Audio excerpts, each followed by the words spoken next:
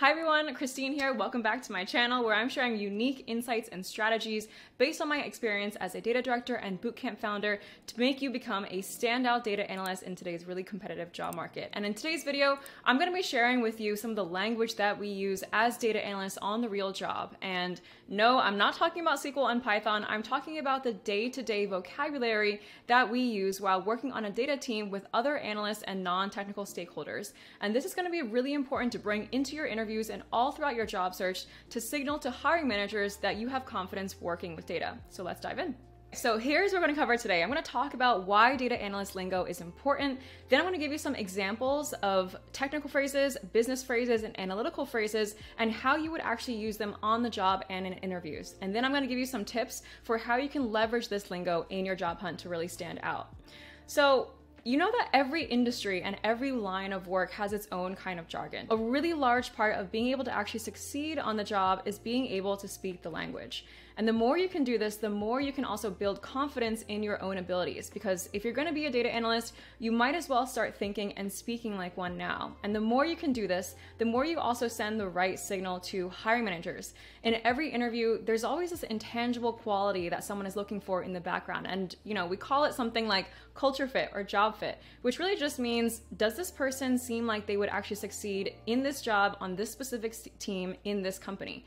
And using the right language sends the signal I understand what you're looking for and I can deliver that.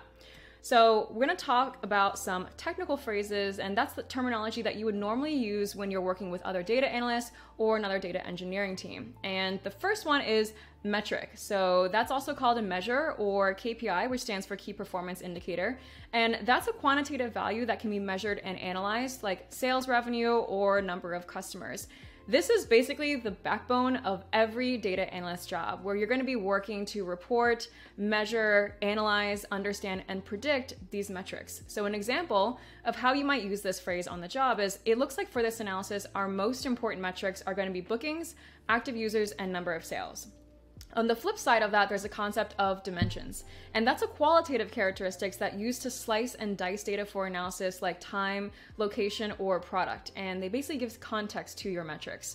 So for every single table, there's always metrics and there's always going to be dimensions. And an example of how you would use dimension is for bookings and active users, we have dimensions like country, product, and month of purchase available in the subscriptions table.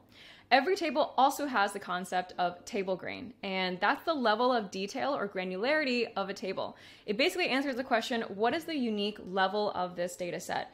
It's similar to the primary key, but it's a little bit different because the table grain is the concept that captures what does each row in that table represent, whereas the primary key is actually a structural thing. It's an actual column in that table that you can point to that shows the unique identifier. So an example here is the grain of the sales table is daily transactions per store since each row shows the day, the store, and the number of transactions for that store. This concept is a little bit tricky, I will say. So if you can actually drop this terminology in something like a live coding interview, that would earn you some points as an early career data analyst. Lastly is number formatting. So that's the way that numbers are displayed, including commas, decimals, and currency. And you might use it like this. So before we send this off for review, let's just make sure everything is rounded correctly and we show the right currency so that there aren't any number formatting issues. Of course, there is a lot more technical terminology here, especially when you're working with data engineering teams. And these are some of the phrases that you'll want to get more familiar with. There's more of a formal description and definition in the lingo guide in the description below. The first is data model. So this data model contains tables pertaining to subscriptions. Issues in the data pipeline cause delays in our reports today, story of my life. Let's ensure data integrity by making sure data isn't lost when we refresh the table.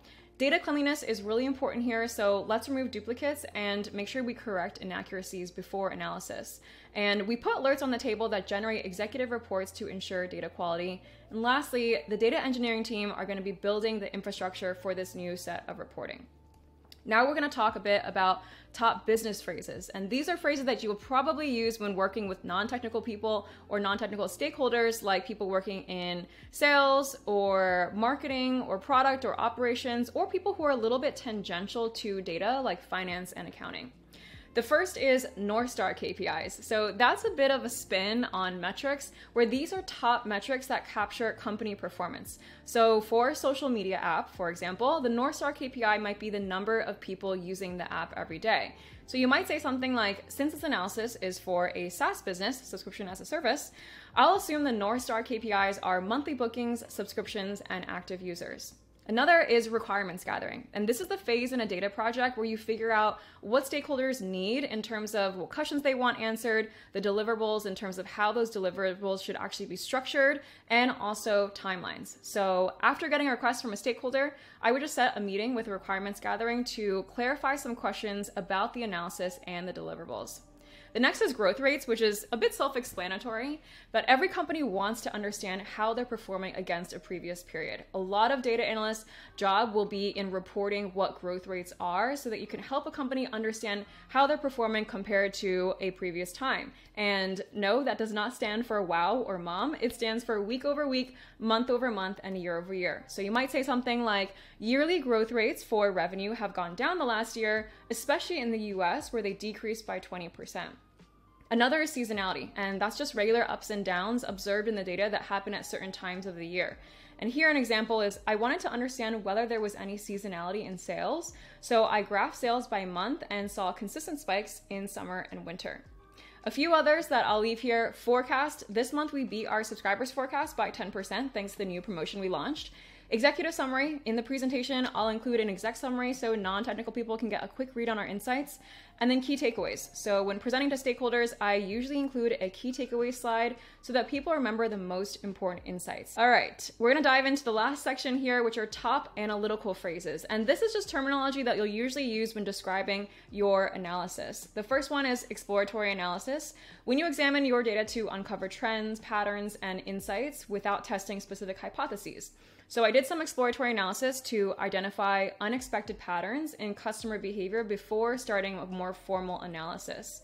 The next is performance measurement. So tracking and assessing how a metric is performing against a set goal or benchmark, or if we want to use the one that we just discovered on the last slide, against a forecast. So I built a dashboard in Tableau for performance measurement so that the sales team can see how revenue is tracking against forecast. So as I mentioned, metrics are going to be the backbone of a data analyst job, and a lot of the job is actually in understanding why metrics fluctuate. So last week I saw some significant metric fluctuations in website traffic, probably due to the recent campaign launch. Hopefully, it's a good fluctuation. Um, and then historical values, past data points that provide a record of how metrics have changed over time, which is usually useful for trend analysis or forecasting. So you might say something like, I don't actually think this is an outlier since it's in line with historical values when comparing to June 2022 and June 2021.